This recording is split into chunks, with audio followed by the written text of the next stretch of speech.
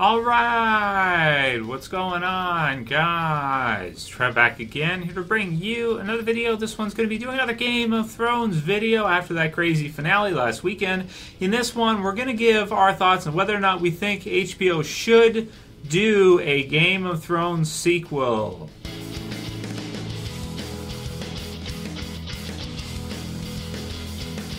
Okay, impossible spoiler warning if you have not seen Game of Thrones in its entirety at this point now that it's over. So, continuing along with the Game of Thrones videos, uh, just kind of playing it by ear, seeing what you guys want to do. Uh, I know that, you know, it's kind of, it's very mixed. I've actually never in my life, I've been doing this on YouTube now for 10 years, I've never seen in this first decade uh, such a controversial fan base right now. The fan base is sort of with Game of Thrones. You have a section that are totally jaded. They just want to light the whole thing on fire. They just want to burn it down because it's like, you know, they're really upset with how that finale went. They're so mad and they're so scorned by it, which I totally get that. I totally understand that.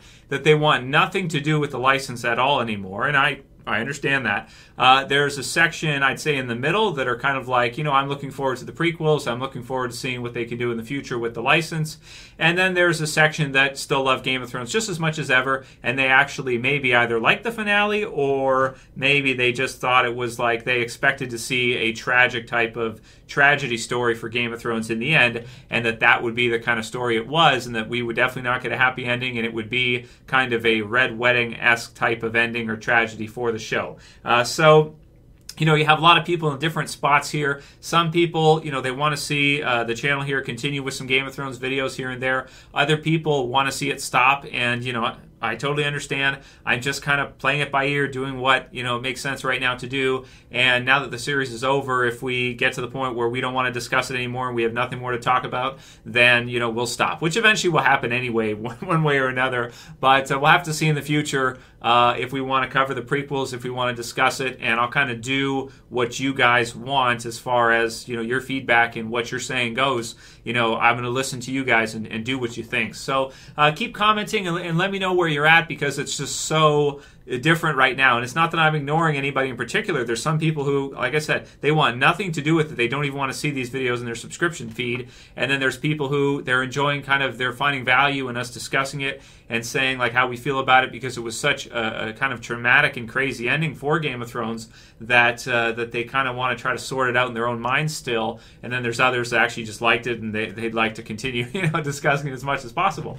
So let me know where each of you guys are at in particular. So, the question for this one should there be a Game of Thrones sequel series? So, what we're saying here is we're not saying prequels, we're not saying this, but we're saying should they get everybody back together, do a Game of Thrones sequel type show, and, um, you know, basically continue on pretty much. So, you finish the first series, the series is over, it's done, it's, it's, it's over, but different showrunners take where the story left off give you some kind of a twist because there was no telling in the end, and I didn't get the sense in the end of Game of Thrones that everything was going to be peaceful now you know, forever. Like it was going to be that happy ending where uh, that's not the sense that I got watching it. I didn't get the sense that you know Jon and Daenerys were su- were successful. They took the crown and everybody loved them and uh, they were liberators and everything was great. It was a peaceful story and the violence would stop and war would stop and there would be no drama and everything would just be happy going forward. I did not get that sense with Bran. I almost got the sense with Bran that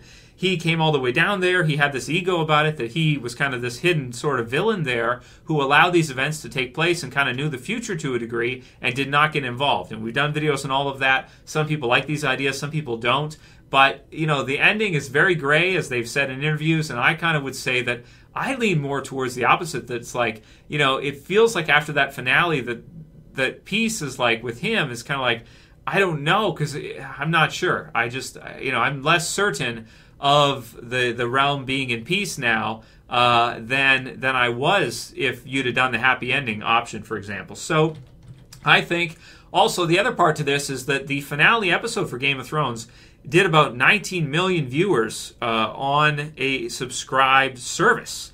That is unbelievable. It's really crazy to think that HBO is going to let that go. You know, they're going to say, okay, we're not going to touch this anymore. It's over. And we're going to do we're going to do prequel series that have none of the same characters in it. Maybe family names, house names, you know, uh, uh, characters like maybe maybe the Night King will sort of be in it in his human form. We'll have to see what they end up finishing for some of those prequel series. But no, so far as we know, they're not doing a sequel for Arya in her travels. They're not doing a sequel for what happens after.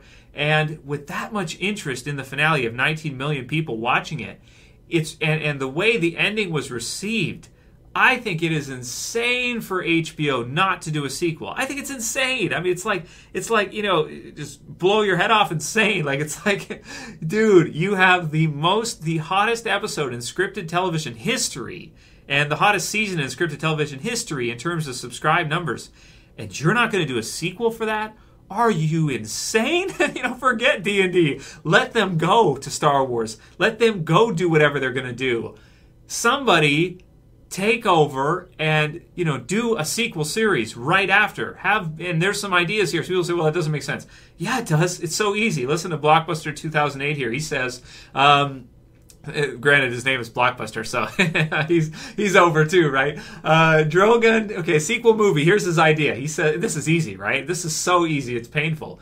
Drogon takes Daenerys' body to Volantis, where uh, she is resurrected by uh, Kinvara. She vows to fly Drogon to King's Landing to get a revenge on Tyrion and Jon Snow and boot Bran off of the throne. Sam and Tyrion have read uh, Grand Maester uh, Ebrose history of Westeros. Sam has read the histories and scrolls uh, at Castle Black and listened to Maester Aemon uh, stories for years. Tyrion has heard Bran's stories uh, from Bran himself. Together, Sam and Tyrion piece together the history of the Three Eyed Raven. They put their heads together and discover Bran is really Blood Raven. So he gets into some more kind of further things here, but let's just look at the, the overall kind of uh, idea here of what he's going with. So you do a sequel, you have, you bring Daenerys back to life. Now she can be you could actually bring her back either way you want. You could bring her back as a straight villain where she just wants to burn everything down to the ground now because after Jon betraying her, she wants revenge and she wants to just kill everybody. So she's a hardcore villain in that way. Or you could bring her in as a um, maybe as someone who gets so so much sympathy. You brought you brought Jon back to life after he was killed, right? With uh, with uh, uh, Melisandre.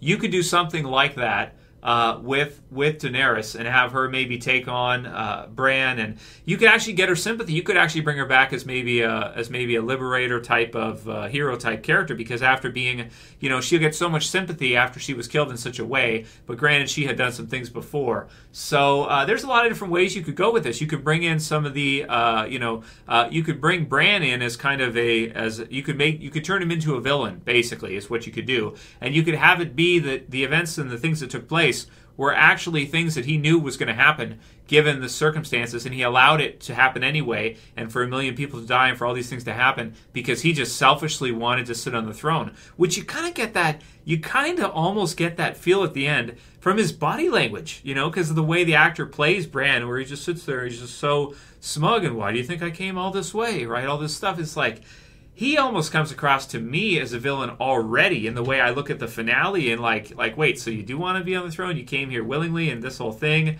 It's not like he denied it it's not like he turned it down. It's like he just goes right into it. Now is that because he wants to maintain peace?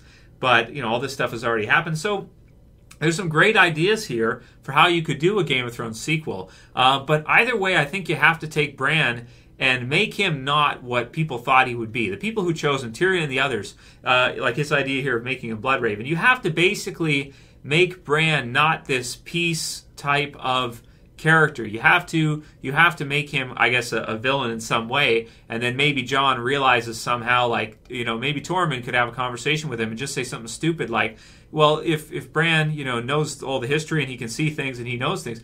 Wouldn't he have known that this would happen with Daenerys if you had told and he let you do it anyway? And then maybe Jon's eyes can open up and kind of figure out, like, you know, maybe he could have stopped this and he didn't. What does that make Bran at that point then? And, and why, why are you allowing him to rule the realm? You could see him easily becoming a villain uh, for for the fans and uh, you know and for things. And if it just doesn't turn out to be what they thought it is, uh, you could even do maybe a, a blue eye flash with him, and that the touch from the Night King somehow affected him and kind of turned him slowly so that he's slowly becoming. And so he's trying to maneuver events to sort of to kill off as many people as possible right? Something like this to where he you know there's a lot of different ways you could go with it but Um, you know, I did not get the sense in the finale of the series that he was like this peace going, you know, uh, hero type character. I just didn't get that sense from Bran at all. So I think it'd be so easy to do a sequel series for Game of Thrones that they absolutely should think to themselves, why are we not doing this? You know, even if it takes them a few years to get everybody back together and you got to pay them big money and you got to do it again you know, fans. I think fans are just just distraught from where they were left at the end of the series, and that's what I'm seeing in the feedback. And it's just like, you know, the fans. From what I'm hearing, the fans want it.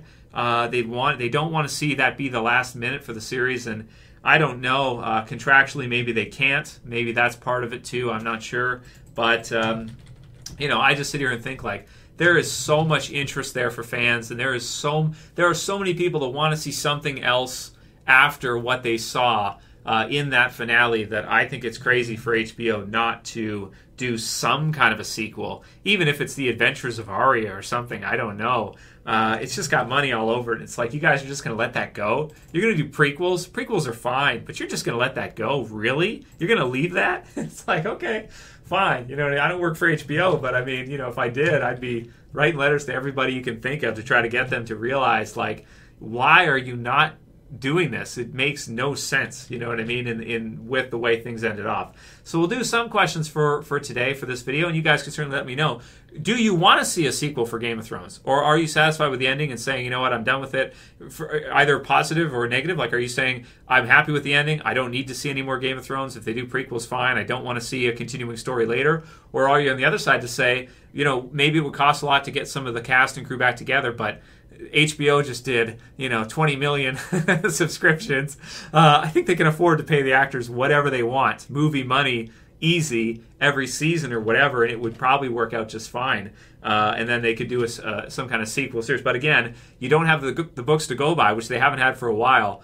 But um, you know, you can do some interesting things with it. It's kind of crazy that they're just going to leave it like that. But that's my thought. Let me know what you guys think. Are you are you not are you not on agreement here that you think no, they should just leave it and, and that's it? That was fine for an ending.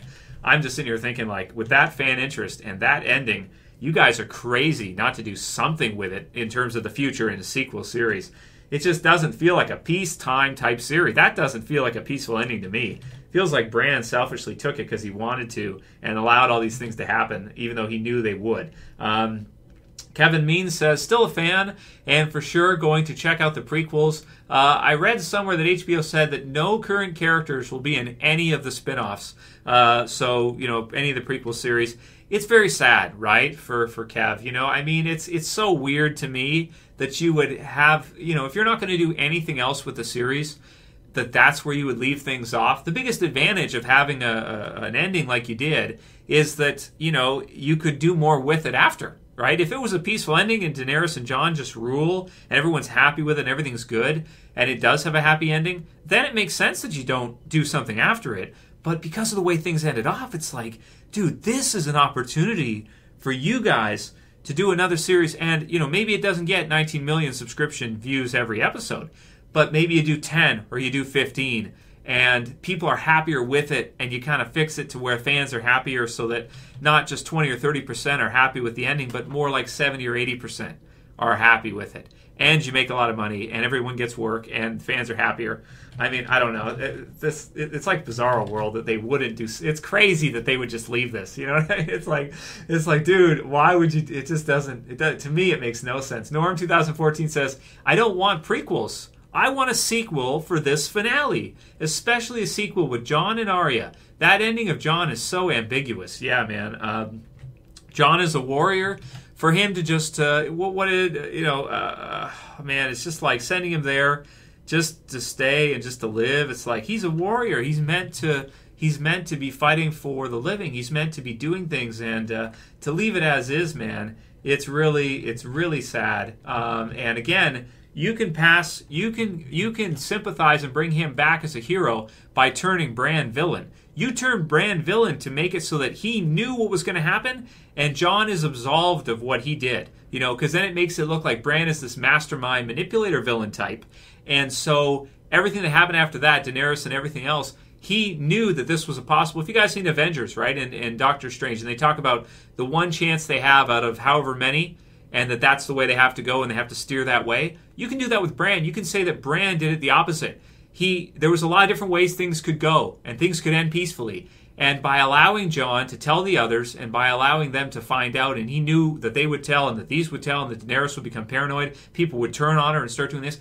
By allowing Jon to do that at that moment, uh, he knew what was going to happen, and he allowed, and he said, "It's your choice." But really, he could have said, "Wait a minute, Jon, don't do this. If you do this, if he was a good guy, he would save a million people in King's Landing. He would do all this stuff. He'd say, "Don't tell. If you tell, there's going to be over a million people die. Don't tell." Right? And the fact that he didn't do it, he takes all the blame for everything because he was happy enough to tell, you know, Sansa about Littlefinger and what he had said with Eddard and everything. Um, you can easily redeem Jon by making Bran a villain. It's so easy, it's crazy, you know, in my opinion anyway.